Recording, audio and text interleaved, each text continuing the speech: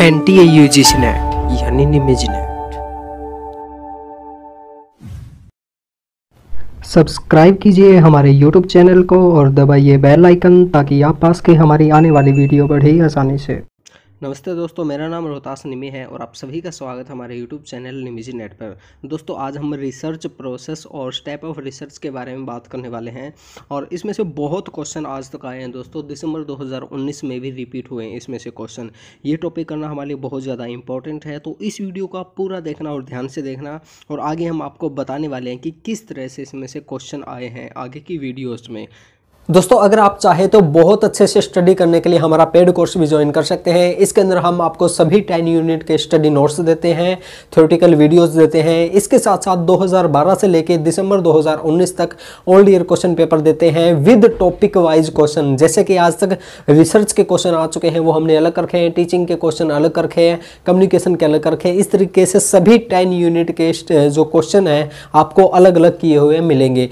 इसके साथ साथ दोस्तों, हम आपको सभी टेन यूनिट के लाइव मॉक टेस्ट देते हैं। दोस्तों, अगर आपको हमारा पेड कोर्स ज्वाइन करना है तो जल्दी से जल्दी हमें इस व्हाट्सएप नंबर पर कॉन्टैक्ट कीजिए।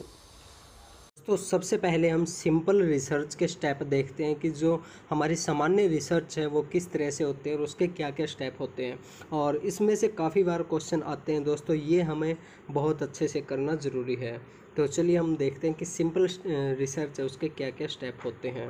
अब इसमें देखिए, सबसे पहली जो चीज़ आती है दोस्तों, सिंपल रिसर्च के अंदर वो आती है सिलेक्शन ऑफ़ प्रॉब्लम। ये देखिए, मैंने आपको पहले भी बताया था कि जहाँ पे रिसर्च का नाम आता है तो उसमें सबसे पहली चीज़ आती है हमारा प्रॉब्लम सिलेक्शन करना। यानी कि हमारे पास प्रॉब्लम ऐसी होनी चाहिए जो बिल्कुल नई हो और जिसका अभी तक समाधान ना खोजा गया हो। ठीक है? और उसके बाद दोस्तों आता है हमारा साहित्य सर्वेक्षण लिटरेचर रिव्यू और लिटरेचर सर्वे इसका मतलब ये होता है दोस्तों कि जो पहले हमने हमने जो प्रॉब्लम सेलेक्ट की है उस पर क्या क्या काम हो चुका है और लोगों ने क्या क्या समाधान खोजने की कोशिश की है। उसके बाद आता है दोस्तों प्री कल्पना मेकिंग हाइपोथेसिस अब देखिए, इसका मतलब ये होता है दोस्तों, हम कोई भी काम शुरू करते हैं तो उसमें हमें थोड़ा अंदाज़ा होता है कि हमारा ये जो काम है, इसका रिज़ल्ट ये निकलेगा, यानी कि उसकी कल्पना करते हैं हम, ठीक है? तो इसी तरीके से हमारे रिसर्च के अंदर होता है, जो जो भी हम प्रॉब्लम लेते हैं तो उसका थोड़ा सा हम अंदाज़ा लगा लेते हैं कि इसका सोल्यूशन ये हो सकता है, ठीक है? यानी कि उसकी हम कल्पना करते हैं पहले ही। और उसके बाद आता है दोस्तों शोध की रूपरेखा तैयार करना, यानी कि रिसर्च डिज़ाइन अब देखिए हम कोई भी काम करते हैं तो उसमें हम थोड़ा अंदाज़ा लगाते हैं कि हमारा जो एक काम है, किस तरीके से होगा और यानी कि उसे पूरे अच्छे तरीके से डिज़ाइन करते हैं, ठीक है? तो इसी तरीके से हमारा रिसर्च के अंदर होता है रिसर्च डिज़ाइन हमें पूरा डिज़ाइन करते हैं कि किस तरह से हमें रिसर्च करनी है। उसके बाद आता है दोस्तों नमूना चयन, यानी कि सैम्पलिंग उसके बाद जैसे कि हमें रिसर्च करनी तो उसमें किन किन लोगों को शामिल करना है, किन किन किन एलिमेंट्स को लेना है, वो सारी चीज़ें होती है तो उसे हम कहते हैं सैम्पलिंग यानी कि रिसर्च के अंदर जो सैंपल लिए जाते हैं, उसे हम क्या कहते हैं सैम्पलिंग कहते हैं। अब देखिए दोस्तों, अगला स्टेप आता है हमारा सामग्री इकट्ठा करना, यानी कि डेटा कलेक्शन यानी कि सैम्पलिंग लेने के बाद में हमें ये ज़रूरी है कि हम अपनी रिसर्च का पूरा का पूरा डेटा इकट्ठा करें।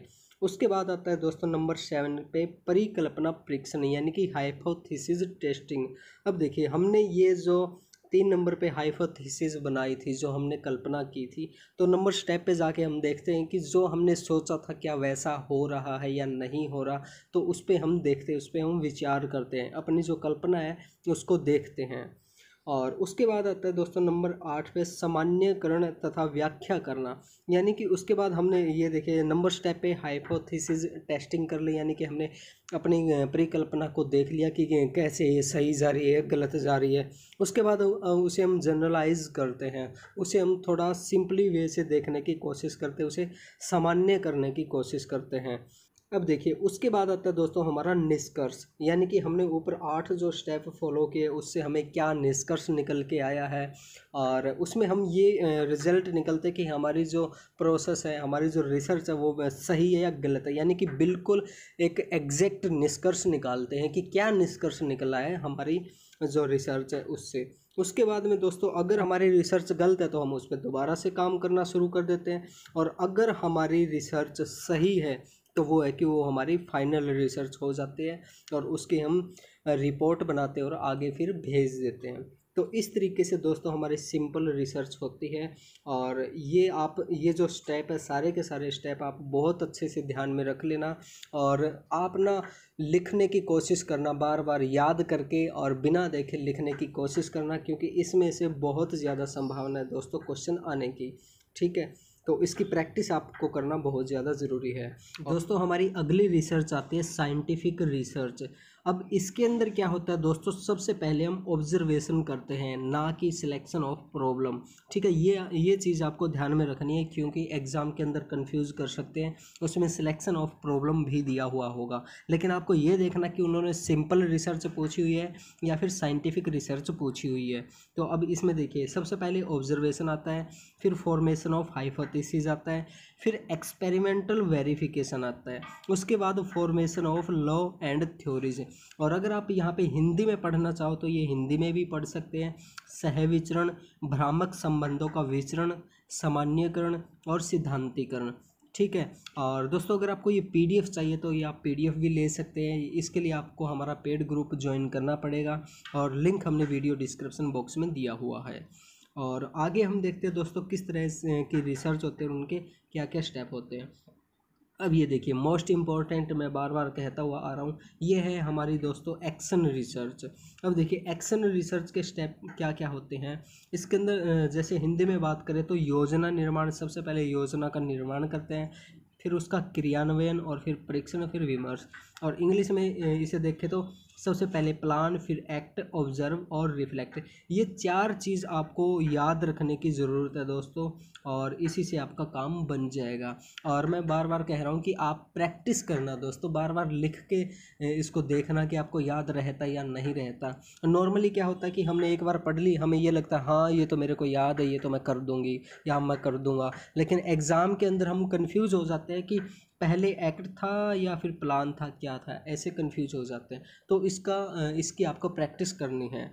और आगे देखते हैं दोस्तों, शोध निबंध के तत्व। यानी कि जो शोध निबंध होता है, उसे हम किस तरीके से लिखते हैं, उसके भी जो स्टेप हैं, वो थोड़े अलग हैं। अब इसमें देखिए, शोध निबंध में क्या होता है? सबसे पहले प्रस्तावना होती है, फिर साहित्य पुनर्वीक्षण होता है, फिर शोध प्रणालियाँ होती है, फिर परिणाम और फिर चर्चा और निष्कर्ष।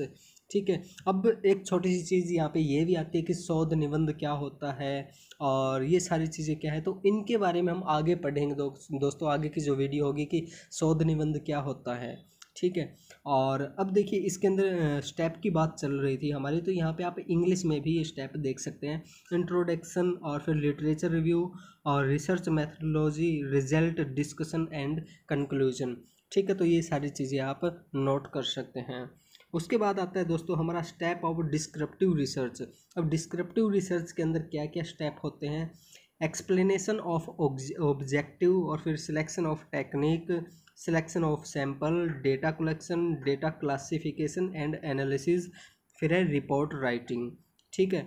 और उसके बाद आते हैं हमारे दोस्तों नंबर छः पे research research proposal research report अब इसके अंदर होता है introduction aim objective methodology, finding, conclusion और रिकमेंडेशन। यहाँ पे हिंदी में भी देख सकते हैं आप, प्रस्तावना, लक्ष्य, उद्देश्य, प्रविधि, निष्कर्ष उपहास और संस्तुति।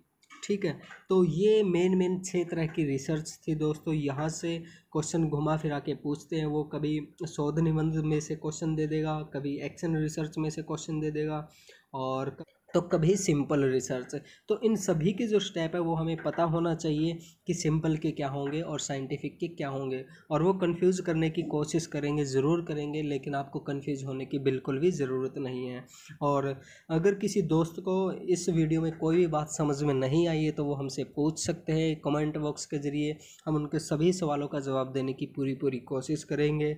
और दोस्तों, आज के लिए बस इतना ही। अगर आपको हमारी वीडियो अच्छी लगी तो इस वीडियो को लाइक कीजिए, शेयर कीजिए, कमेंट कीजिए।